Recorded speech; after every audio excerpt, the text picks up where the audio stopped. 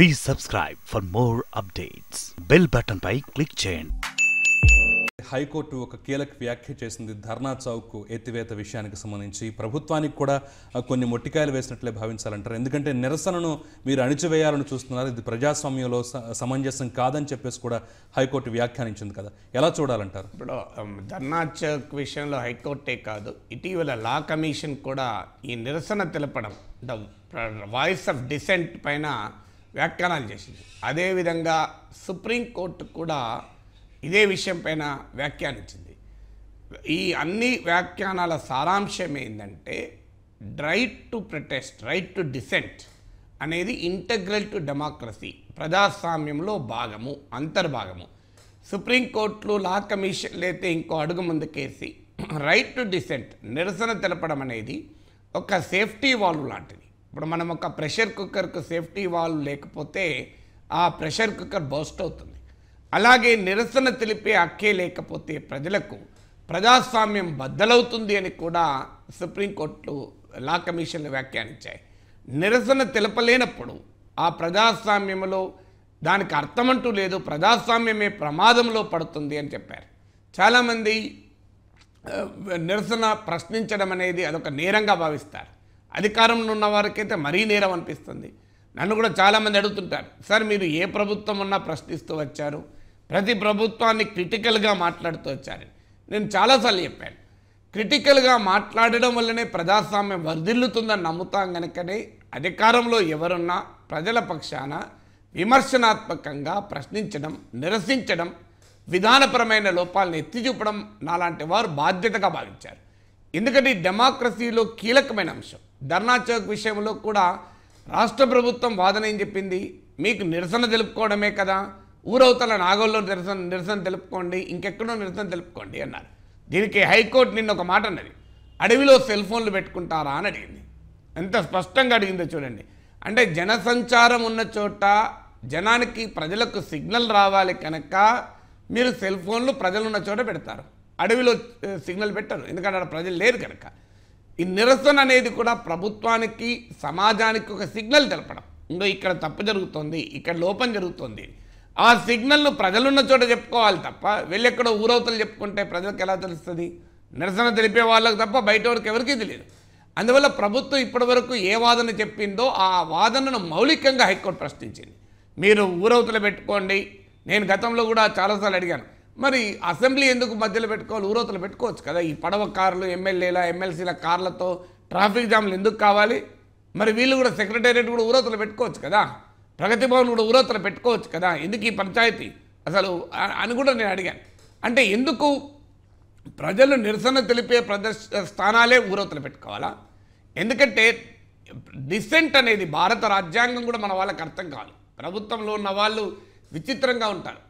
వాళ్ళు ప్రతిపక్షంలో ఉన్నప్పుడేమో ట్యాంక్ బండ్ పైన మిలియన్ మార్చులు జరుపుతారు నక్లెస్ రోడ్డు పైన మిలియన్ మార్చులు జరుపుతారు రోడ్లకు అడ్డంగా ఉండి ఉండి వంట వార్పులు చేస్తారు. ఇదంతా తెలంగాణ ఉద్యమం కొరకు జరిగింది. కానీ తాము అధికారంలోకి వచ్చే వరకు ఇదే తెలంగాణ ప్రజలు తమ హక్కుల గురించి మాట్లాడితే తమ సమస్యల గురించి చెప్పుకోవాలంటే మీరెవరు నిరసన ఎవరు చెప్తాడు? ఎవరు ఎవరిచ్చాడు మీకు? ఊరవతల పెట్టుకోండి అంటారు. అని దీనికి ప్రజలకు అసౌకర్యం కలుగుతుంది. ఏ ప్రజలకు అసౌకర్యం కలగకుండా ఏం చేయాలి? దీన్ని ఆలోచించవచ్చు అభ్యంతరం ఏం లేదు. ప్రజలకు అసౌకర్యం కలిగించే రీతిలోనే నిరసనలు ఉండాలని నేనేం అనడం లేదు. తమ వాయిస్ వినిపించుకోవడానికి ప్ర- సమాజం ముందు ప్రభుత్వం ముందు జనం ముందు ప్రజలు తమ వాయిస్ వినిపించుకోవటానికి ఒక అవకాశాన్ని ప్రజలకు ఉండాలి. అది నగరం నడిబొడ్డును ఉండాలి. నగర ప్రజలందరికీ తెలిసేలా చెప్పుకునే అవకాశం ఉండాలి. అదే సమయంలో ప్రజలకు అసౌకర్యం కలగకుండా ఏం చేయాలి? ట్రాఫిక్ను ఇబ్బంది కలగకుండా ఏం చేయాలి? దీన్ని ఖచ్చితంగా ఆలోచించేసి. ఇంకో పాయింట్ కూడా చెప్తాను. మీరు ధర్నా చౌక్ను లేకుండా చేస్తారు. కానీ ఇవాళ సోషల్ మీడియాలో పెద్ద ఎత్తున నిరసన తెలపచ్చు. మరి సోషల్ మీడియాలో లక్షల కోట్ల ధర్నా చౌకులు ఉంటాయి. మరి వాటిని ఎలా నిషేధిస్తారు? రేపు వాటిని కూడా నిషేధిస్తామంటారా? సోషల్ మీడియాలో కూడా ఎవరు నిరసన తెలపద్దు అని కనుక చెప్తారా? అదే పోనీయండి ఒక లక్ష మంది ప్రజలు రెండు లక్షల మంది ప్రజలు రోడ్ల మీదకి వచ్చి సచివాలయం ఎదురుగా అసెంబ్లీ ఎదురుగా మా నిరసన చెప్తామంటారు. అప్పుడు ఏం తుపాకులతో ప్రజల్ని పేలుస్తారా? లేదా రెండు లక్షల మంది జైల్లో పెడతారా? అందువల్ల నిరసన తెలపడం అన్న దాన్ని ఆపడం కూడా ఎవరి తరము కాదు. ఇక రాజ్యాంగ రీత్యా కూడా ప్రభుత్వాలకు అధికారం లేదు.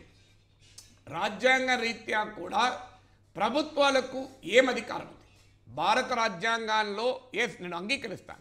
అమెరికన్ రాజ్యాంగం లాగా భావప్రజ్ఞా స్వేచ్ఛ నిరసన తెలిపే స్వేచ్ఛ ఇతర ప్రాథమిక హక్కులు మన దేశంలో అబ్సల్యూట్ రైట్స్ కావు.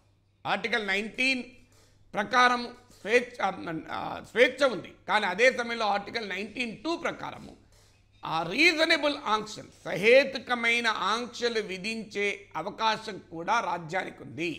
State as a power to restrict కాదని అనడం లేదు అందువల్ల రైట్ టు డిసెంట్ ఏంటి? ఇది ప్రజలకున్న హక్కు నిరసన తెలిపేది.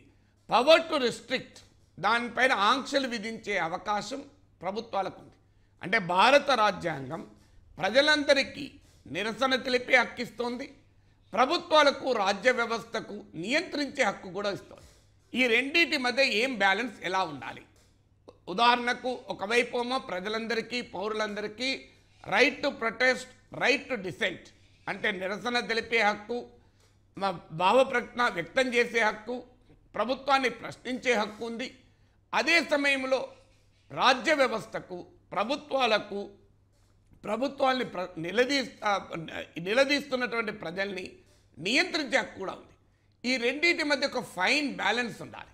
ఈ ఫైన్ బ్యాలెన్స్నే రాజ్యాంగం ఏం చెప్పిందంటే పబ్లిక్ ఆర్డర్ అలాగే మొరాలిటీ సమాజానికి చాలా ప్రమాదకరంగా ఉంటే తప్ప వీటిని నియంత్రించకూడదు అని రాజ్యాంగం చెప్తుంది. దీనిపైన రామ్లీలా మైదాన్ కేసులో హిమ్మత్లాల్ కేసులో ఇలాంటి ఒక డజన్ కేసులు ఉన్నాయి ఈ అన్ని కేసుల్లో నేను రెండే ఉదాహరణలు చెప్పాను. అన్ని కేసుల్లో భారత న్యాయ వ్యవస్థ ఏం చెప్పింది? ఇండియన్ జురిస్ప్రుడెన్స్ అంటారు. అంటే India's history of case law ఏం చెప్పింది? ఈ హిస్టరీ ఆఫ్ కేస్ లా ఏం చెప్తుంది అంటే ఒకటి రాజ్య వ్యవస్థకు ఆంక్షలు విధించే హక్కు ఉంది కానీ వాటి టెస్ట్ ఆఫ్ రీజనబుల్నెస్ అనేది అప్లై కావాలి. అంటే సహేతుక ఆంక్షలు విధించే హక్కు ఉంది. సహేతుకం అనేది ఎవరు నిర్ణయించాలి? ఒక స్థా- ఒక లోకల్ పోలీస్ అధికారో లేకుంటే ఒక మంత్రో వీళ్ళు సహేతుకం అనుకుంటే సహేతుకం అవుతుందా? ఆ సహేతుకత అనేది రాజ్యాంగబద్ధంగా ఉండాలి అనేది సుప్రీంకోర్టు రామ్లీలా మైదాన్ కేసులో హిమ్మత్లాల్ కేసులో ఒక డజన్ కేసుల్లో స్పష్టంగా చెప్పింది. Apply the test of reasonableness అన్నది. ఏంటి రీజనబుల్నెస్? శాంతి భద్రతలకు వాటంకం కలుగుతుంది అని చెప్పి కూడా రిస్ట్రిక్ట్ చేస్తుంటారు. దాన్ని కూడా కోర్టులు తప్పుపట్టాయి. Law and order is different from public order మన దగ్గర విచిత్రం ఏంటంటే ఉన్నత పోలీస్ అధికారులు కూడా ప్రెస్ కాన్ఫరెన్స్ పెట్టి చెప్తారు. మేము లా అండ్ ఆర్డర్ అనుమా ప్రమాదం కలుగుతుందని చెప్పి మేము ఈ చర్యలు తీసుకున్నాం ఆంక్షలు విధించామని.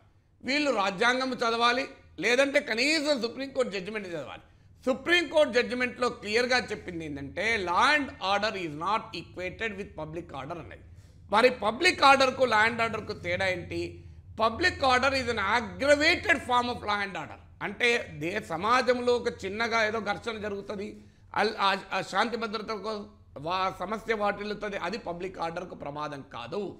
పబ్లిక్ ఆర్డర్కు ప్రమాదం ఏంటంటే సమాజంలో అల్లకల్లోలం జరిగి మా ప్రజా జీవితమే కకావికలైపోయే పరిస్థితి. అంటే ఒక సంక్షోభ వాతావరణం ఏర్పడితే దాన్ని పబ్లిక్ ఆర్డర్ అంటారు అందువల్ల మీ ఇష్టం వచ్చినట్టు ఒక చిన్న చిన్న ఘర్షణ జరిగింది కదా నేను దాన్ని పబ్లిక్ ఆర్డర్ అంటాను. అంటే అవకాశమే లేదు. ఇది భారతదేశ సుప్రీంకోర్టులు పదే పదే చెప్పాయి.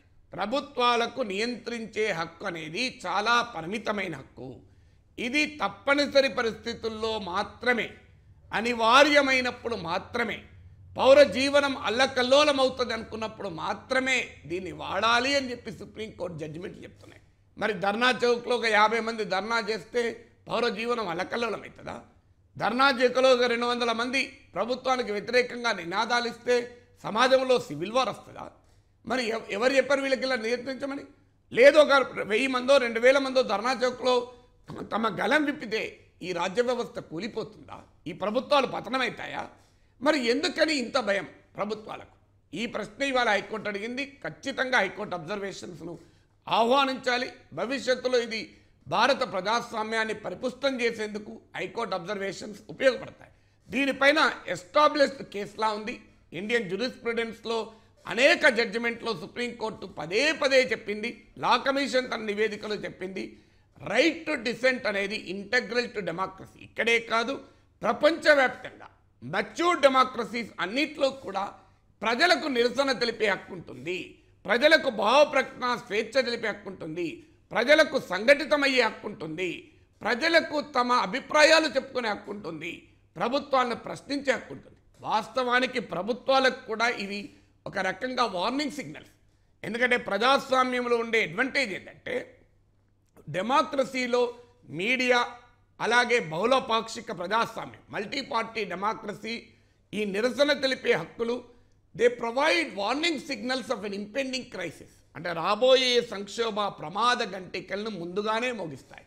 నిజంగా ఒక చైతన్యవంతమైన ప్రభుత్వం ఏం చేయాలంటే ప్రజలు ఎప్పుడైతే నిరసన తెలుపుతున్నారో ఆ నిరసన నుంచి రైట్ సిగ్నల్ తీసుకొని ఆ సమస్య పరిష్కారానికి కృషి చేయాలి.